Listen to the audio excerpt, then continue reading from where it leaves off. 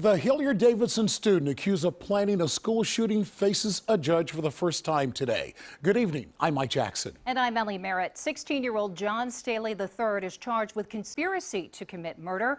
NBC4's Matt Edwards spoke with Staley's attorney, and he's live with more tonight. Matt? Staley remains in custody tonight. He's been accused of designing a detailed attack on Hilliard Davidson High School, which suspended him on September 22nd. On October 20, on October 7th, rather, he was arrested.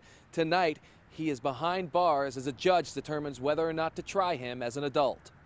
The teenager accused of plotting an attack on Hilliard Davidson High School is staying in police custody. The judge declined our request to release him today, and uh, so he's being held in the Juvenile Detention Center. As the high school sophomore waits, his lawyer, Stephen Palmer, concerned about the support he receives or lack thereof, while his client awaits the next trial date.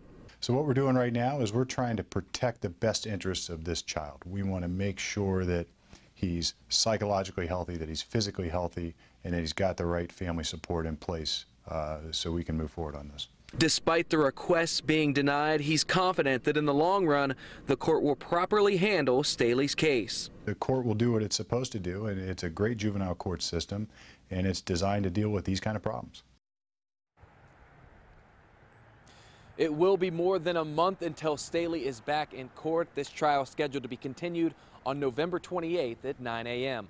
Live in Hilliard, Matt Edwards, NBC4.